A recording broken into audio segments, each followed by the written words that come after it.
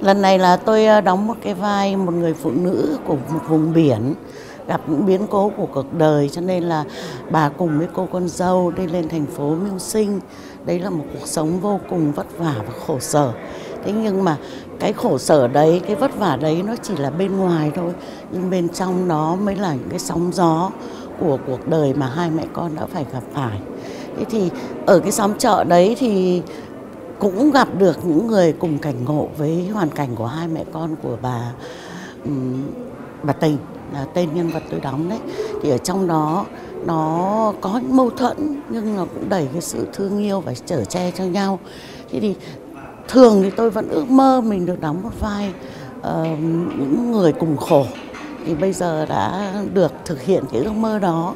Uh, thực ra muốn đóng cái vai đó nó là vì là cũng có một cái suy nghĩ này. Xung quanh chúng ta vẫn còn rất nhiều cuộc đời nghèo khổ và tôi cũng muốn chia sẻ những nỗi khó khăn vất vả với những người dân mà không có được cái may mắn trong cuộc sống, nhưng họ vẫn luôn cố gắng lao động, làm việc để vươn lên.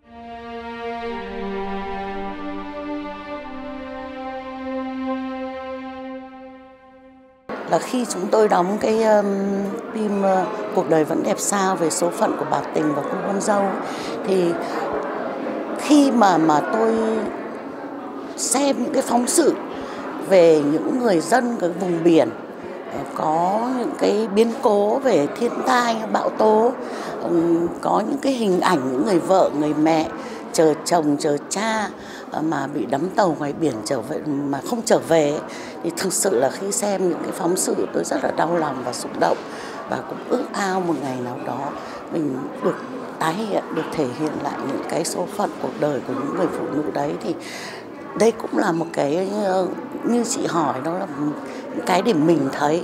Thì khi chúng tôi về quay ở hậu lộc ấy, thì ờ, được quay ở một cái bối cảnh của một ngôi nhà có một bà chủ nhà đấy. Thì khi tôi quay xa tôi thấy đôi mắt bà hoe đỏ. Tôi có lại hỏi thì mới biết rằng là bà cũng có một người con trai đi biển và không trở về. Thì thực sự là khi nghe cái câu chuyện đấy và sống trong cái bối cảnh của ngôi nhà đấy mà tôi lúc ấy tôi cảm giác là mình không đóng nữa, mà cảm giác như mình đang đang là cái người mẹ ấy. Và mình cũng có cái cảm nhận nó đau đớn trong lòng vô cùng và nhìn thấy hình ảnh người mẹ thật đấy với câu chuyện thật như đấy thì quả thật rất là xúc động và đau đớn lắm. À, bằng những người con người đau khổ gặp nhau như tên phim là cuộc đời đấy là sao chắc là một phim sẽ gửi đến khán giả những thông điệp nhân văn vâng. tôi nghĩ rằng là cuộc đời con người ta thì có rất nhiều những cái vất vả trong cuộc đời.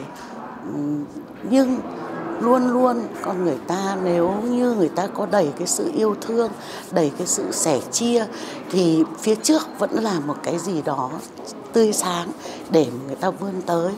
Đó là tình yêu thương con người với nhau chở che với nhau. Tôi nghĩ đấy là thông điệp của bộ phim. À, bà bám theo tôi bao giờ đấy? Mẹ không ngủ được mẹ ra làm đỡ con Đấy, đỡ đần gì, vướng chân vướng tay ra. Bà đi về đi. Chị cứ để mẹ làm đỡ cho. Bà làm thế Rồi bao người tôi nhìn người ta lại tưởng là Con dâu bóc lột sơ động của mẹ chồng. Người ta nói gì kệ người ta Việc mình mình làm. Kỳ cọp mãi cả năm trời. Mới mua được một chỉ vàng cho con Luyến này Sang năm Cố gắng mua cho nó một chỉ nữa. Chắc là nó mừng lắm đây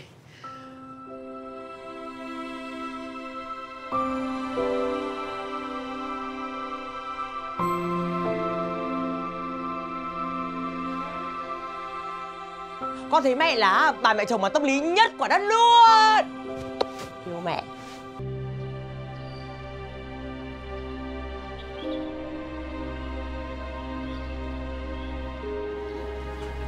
Mất. Bà mất cái gì? Mất chỉ vàng. Chỉ vàng nào? Tôi chẳng có liên quan gì đến bà cả. Tôi như thế là tôi quá tử tế với mẹ con với bà rồi con trai con dâu. Cháu nội của bà đấy. Bà đi mà tìm. Ở cùng cho nó sướng thân. Chứ còn tôi ý, Tôi chỉ là người dân tôi.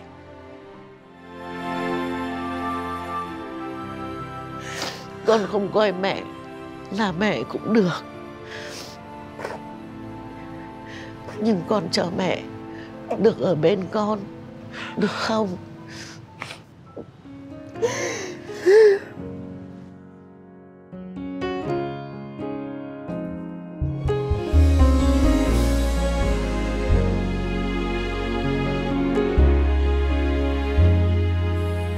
một mình cầm đàn cứ hát mênh mông trời chiều. Một người ngồi vẽ chữ yêu. Một mình trải lòng giữa chốn hoang sơ cỏ một mình ngồi buồn vu vơ. Để rồi giọt đàn cứ ngấm vào chiều tà để rồi lòng tự biết đau. Buồn vì cuộc đời có quá nhiều giang dở. Buồn cuộc sống không chút bình yên. Chạy trốn bon chen ngày thường tìm về nơi thanh thang, chỉ có ta. Ngồi hát, bài hát riêng ta. Ai à ta viết cho ta. Ai à thời gian vẫn trôi. Ai à tình yêu đã qua ai ác cuộc sống riêng ta, chỉ dành cho ta. Ai a buồn đau trong qua ai a tình yêu sẽ quay lại. Ai a hiên ngang lên sớm, cuộc đời của ta.